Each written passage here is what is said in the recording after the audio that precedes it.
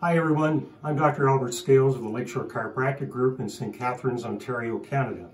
This year we're celebrating 40 years of chiropractic service to the people in our community. I've seen a lot of different types of chiropractic treatment in those 40 years, but nothing like the PulStar. And at this time, I'd like to introduce to you my associate, Dr. Brendan Macoretta, who will give you a little glimpse of what this amazing technology can do. Hi, I'm Dr. Macoretta. So this is an example of a scan that we would do on a typical day. Um, so what we use is this two-pronged machine right here. So this scans your back as well as treats your back at the same time. So what you're looking at on the screen here is the scan, the initial scan from last treatment.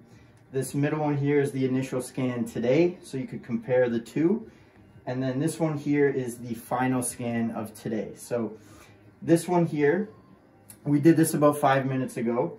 So what we're looking for is all greens. Now we have a couple red spots. That means that those areas are out of place.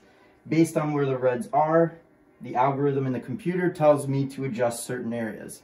The adjustment, again, done with this little two-pronged head, is a very safe and gentle impulse that puts the spine back into place without any cracking or popping.